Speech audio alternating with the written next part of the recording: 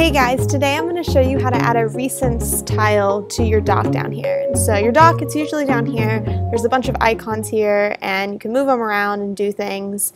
I have a lot of stuff in my dock because I am quite the hoarder.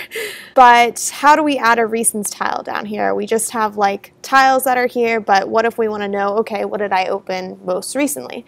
Well, we can do a terminal command. So we will open the terminal, hit enter, set it all up here and we will write defaults, which is accessing like our defaults in the system, write which is like writing something new, adding something new, com.apple.dock, saying we're writing something new to our defaults, specifically our dock, persistent dash others, and make sure you have this exactly right or else it's not going to work. Like every dash and space has to be exactly right, so you don't want to have like a space here between persistent and others.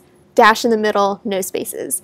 And then we're going to write dash array, dash add, space, single quote, open curly bracket, space, double quote, tile dash data, double quote, space equals, space, open curly bracket, space, double quote, list dash type, double quote, space equals, space one, semicolon, space, close the curly bracket, semicolon, space, double quote, tile dash type, double quote, space equals, space, double quote, recents dash tile, double quote, semicolon, close the curly bracket, and single quote to finish.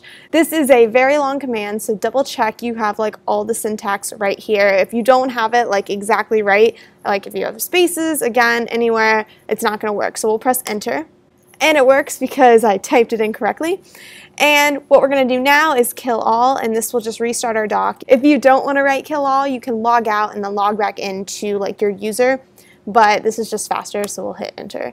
And so then we can actually see our dock, so we will exit out of this to see what's going on down here. And if we go down here, here's our recent applications. We have all these apps like NetBeans, coding stuff, Unity's like gaming stuff, like designing games, um, iMovie editing, you know, browsers. This is stuff I use recently, or I have used recently.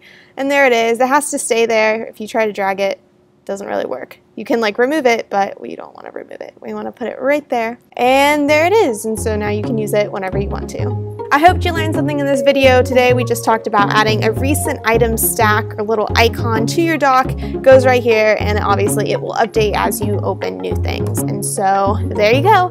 I'll see you next Thursday. Bye-bye.